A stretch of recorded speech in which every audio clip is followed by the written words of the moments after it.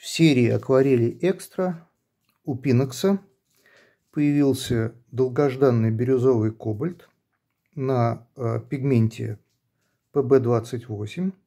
Сам пигмент был очень необходим. Голубой оттенок – это тот цвет, э, который невозможно получить смешиванием соседних по цветовому кругу пигментов. То есть, ну, кювета залита нормально.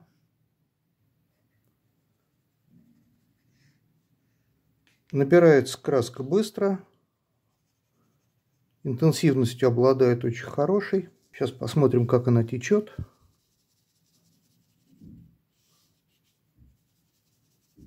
И какая у нее грануляция.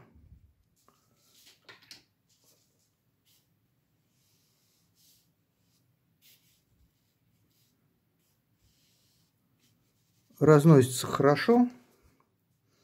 Сразу появляются уже какие-то вот э, рисунок характерный для гранулирующих пигментов. Вот, при этом, если нам надо, чтобы грануляция э, отсутствовала в заливке, достаточно просто в подсыхающей краске э, распределить заново пигментные зерна, и тогда грануляция будет успокоена.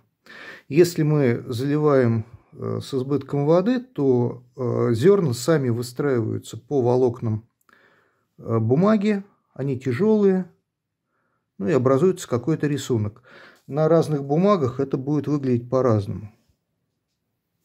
В каких э, смесях он будет интересен? Ну, прежде всего, какими-то дополнительными, то есть можно получить ахроматические какие-то замесы. Перол оранжевый.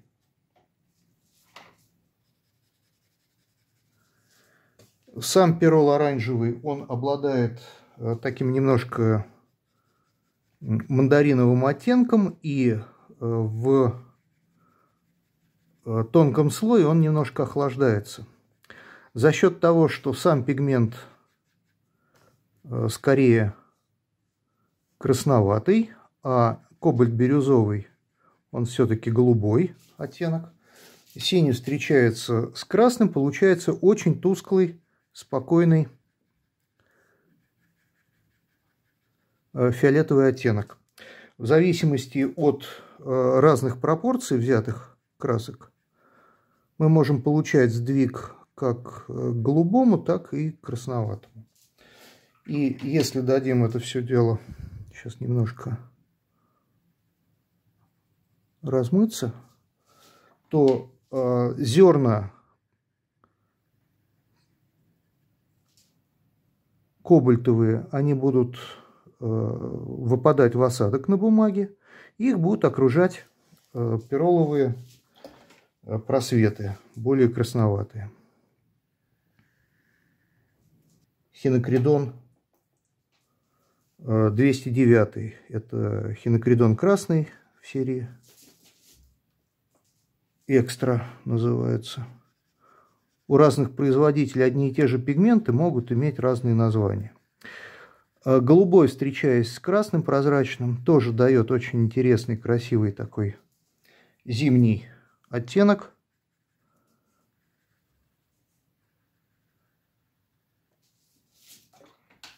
Вот, и здесь э, будут видны голубые зерна с э, розовыми холодными просветами потому что сам пигмент хинокридона, он прозрачный, он насыщенный, очень интенсивный.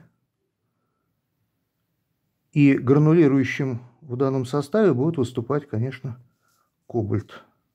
И какой-нибудь желтый насыщенный, Пиело 150, это у нас никель азометин, то, конечно, получится очень яркие, открытые Э, зеленые цвета. Сам по себе этот желтый, он э, практически из любого синего оттенка и холодного оттенка делает э, разнообразные зеленые за счет своей интенсивности.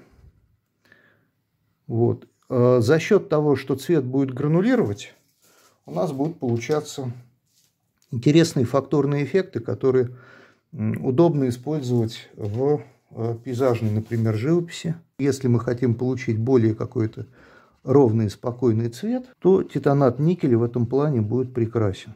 Так, вот у нас с титанатом. А если мы берем э, хинокридон пурпурный, это 122 красный, это интенсивный, насыщенный красно-фиолетовый оттенок, добавляем туда никель азометин, у нас получается очень красивый золотистый прозрачный цвет. И э, уже в этот оттенок добавляем э, бирюзовый кобальт.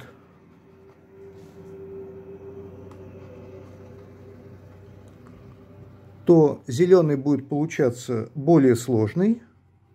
Распадаться он будет на э, более интересные сочетания, потому что там будут в замесе проявляться и малиновые, и желтые. Прозрачные цвета будут окружать более тяжелые зерна кобальтового пигмента.